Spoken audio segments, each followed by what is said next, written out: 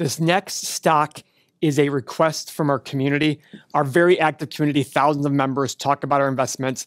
This is the stock they want to hear about. We did it on a live stream. I said, This looks interesting. The stock is DaVita. They do dialysis, in home dialysis, or in home, or is it at, um, I'm not sure if they do in home. They definitely have facilities. sorry. So it's facilities, et cetera. So Definitely facilities. let's pull up DaVita and take a look at the stock. Okay, guys, it's up two and a half percent today on a down day in the market. That's interesting. Year to date, it's basically even. Five years, it's only up 12%. Wow. Okay, it's a $7 billion company. Now, Mo, first thing I notice is seems to be a lot of debt. yeah, $7 billion market cap, guys. This means that if you bought every share outstanding, you'd pay 7 billion. The enterprise value is 21 billion. The difference here is essentially your debt. Okay. Now, one thing I do like about DaVita, Mo, net income in the last year was 467 million. Five-year net income was 626. But look at their free cash flow significantly higher. significantly higher 1.36 billion in free cash flow 1.17 billion average last five years i just saw some quote the other day by joel greenblatt he goes listen all i care about is free cash flow hmm. He's like i don't even worry about anything it's free Wow. cash flow all the way and it makes sense because free cash flow is what you're going to use to buy back shares pay dividends um, reinvest in yourself Right. make acquisitions or Pay down debt. pay down debt Yeah.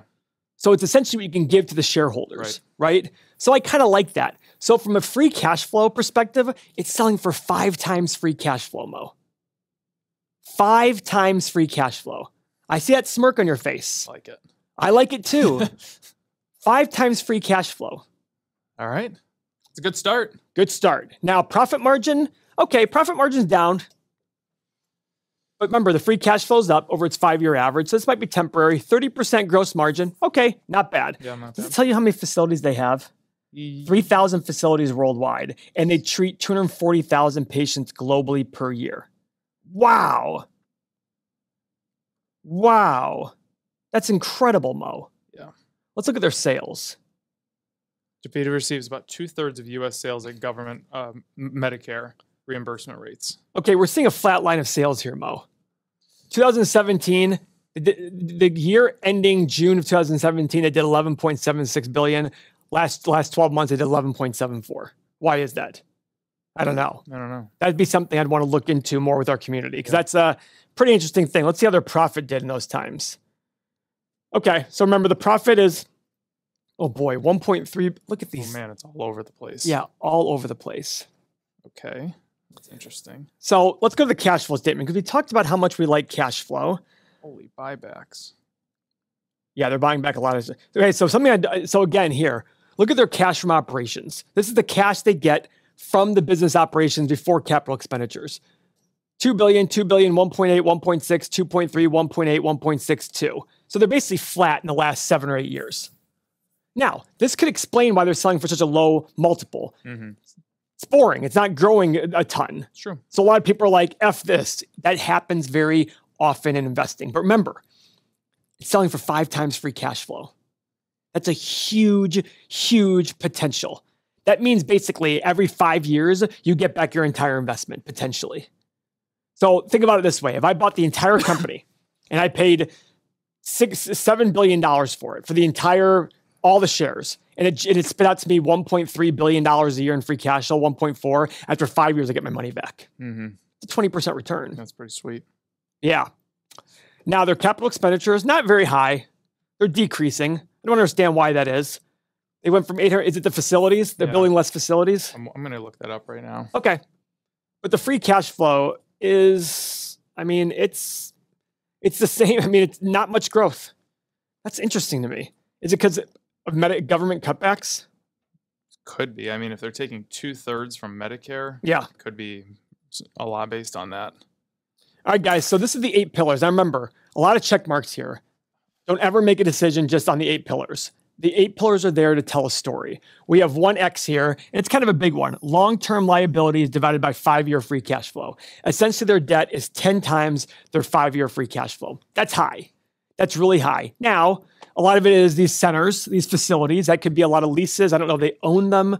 There's things like that in there. And these are the extra nuggets that we're trying to just peel back layers on. But we're not going to get to the nitty gritty, especially for a $7 billion company. There's going to be more we're going to want to uncover. So let's keep going.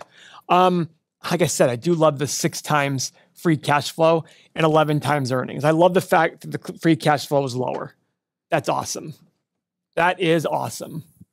All right. Cash flow growth was higher than net income growth return on invested capital five years is 11%, 10.6%. So it's a little bit better than the market does over long periods of time. So, guys, there's a lot of positives here. The only, oh, by the way, look at these share buybacks.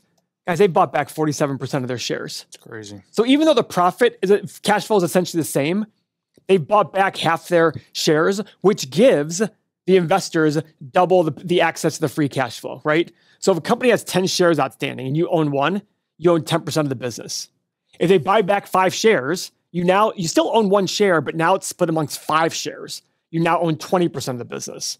That's how a company with very stagnant or very little growth can reward their investors if they're selling for a cheap price. Man, that's pretty cheap. That's pretty cheap. Six times free cash flow. It's interesting, Mo. Now, guys, the reason I love our community is I go to the community and people in the community go for investment ideas and to talk through their investments. So, what we have here is our community bull and bear cases. We ask for every video, guys, what are your bull and bear cases for this company? So, Mo, why don't you pull it up here and see what uh, our community members are saying? So, here's Rich, a, a, couple of bull cases large share buybacks, huge share buybacks. Yep. A company with good ROIC that chooses to buy back shares rather than provide a dividend. He likes that. The stock dropped because of the uh, Ozempic trial. Um, status implies overcorrection in the market. There's a lot of stories out there right now about Ozempic just because they're in the kidney world. Um, Berkshire Hathaway owns 39, has a 39.5% ownership. Really? Yeah. I did not know that. I did not know that either. Let's Google that and make yeah, sure that's true. That, please. Guys, according to Stock Circle, this is accurate. Wow. They own 36.1 million shares, 2.7 billion in value. They started buying back in 2011. So let's see where the stock was in 2011 when they were buying it. Oh, look at them. Good for them. 28 bucks a share was the low. Good for them. All right, so their basis is probably, if I were to guess, 50 to 60 bucks a share. Hmm. So they're up a little bit. Yeah. Interesting. There's a couple of bear cases from Rich high debt, but the company does lease substantially all of its U.S. dialysis facilities that are non-cancelable for five to 15 year lengths. I did look that up in the 10K, and that is correct. Um, for the most part, now they're a one-trick pony. It's kidney treatment. But there's something to be said for being an expert in your field and you do it really oh, well. 100%. You know? you know, it's funny. I hear the Ozempic stuff and I hear like, oh, it's the, the Ozempic's helping for kidney and all that stuff. Guys,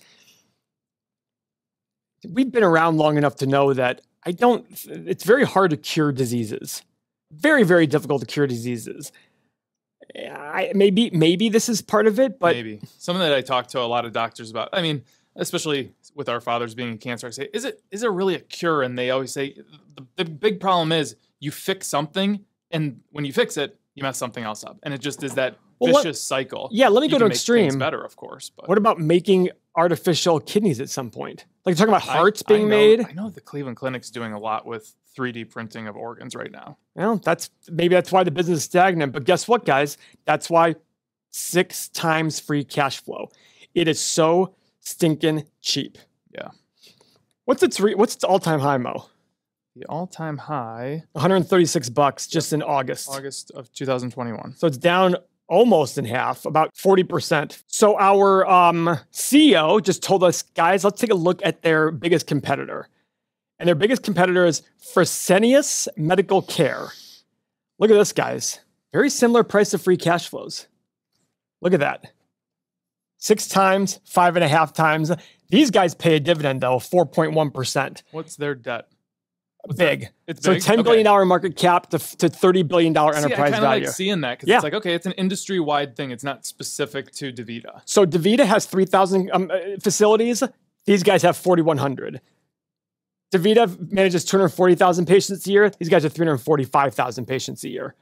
So they pay a dividend. DaVita does not. Very similar margins. DaVita's got a higher gross margin in the last year than than Fresenius, and their free cash flow is also significantly higher than their net income.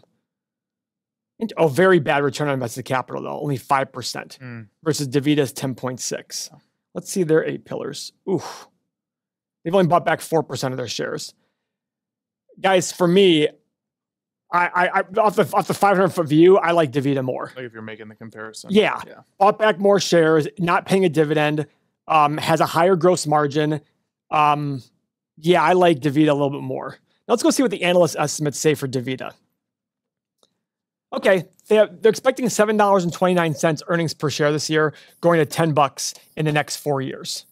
All right, what about revenue? Twelve billion to thirteen point four five. Very little. Yeah, very little. Very little. But it's consistent with what they've done the last decade. That is true. So.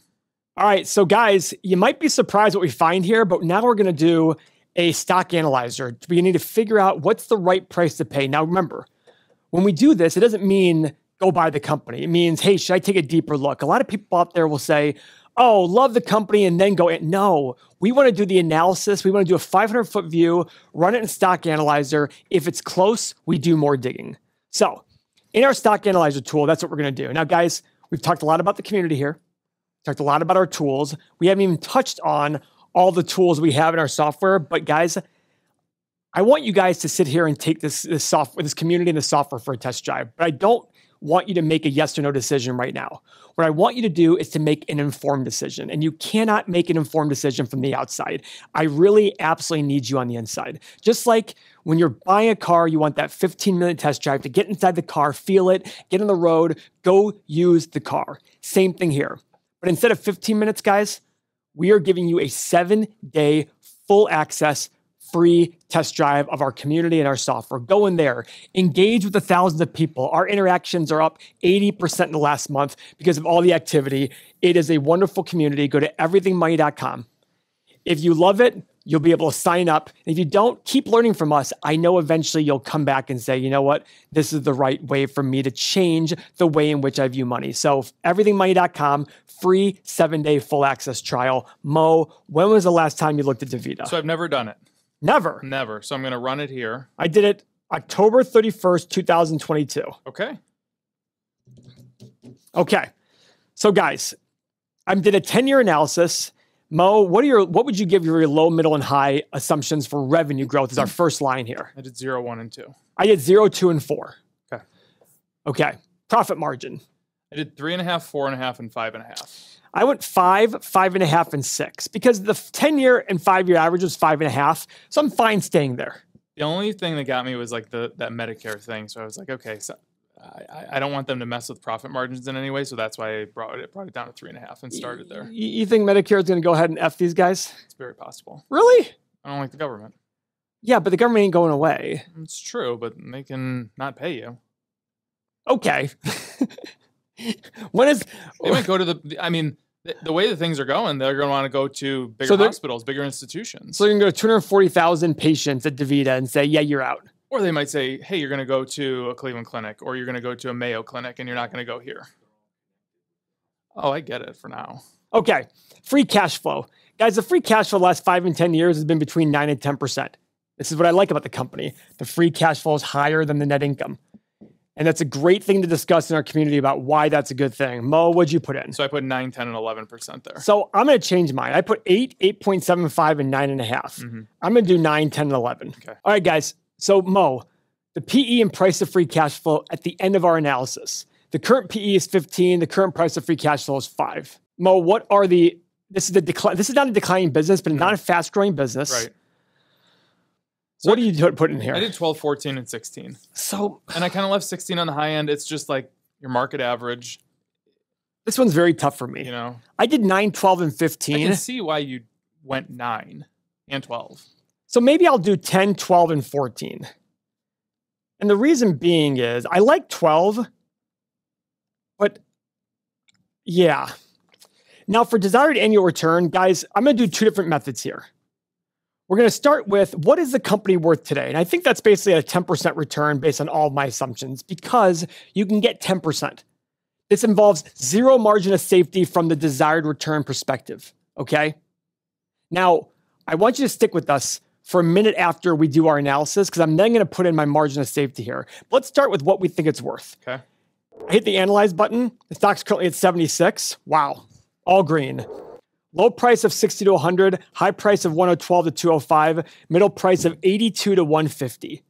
At these current prices, look at these returns 16, 22, and 27%. Now, putting my margin of safety in, I'm going to put in 12, 14, and 16 because as I made higher assumptions, I want more return. It's still on the discounted cash flow perspective, yeah, all green. Sure is for me too. 96 to 140 with 117 in the middle. Mo, what'd you get?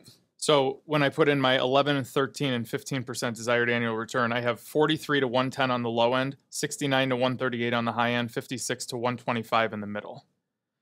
I mean, guys, it's interesting. Very, very interesting. All right, guys.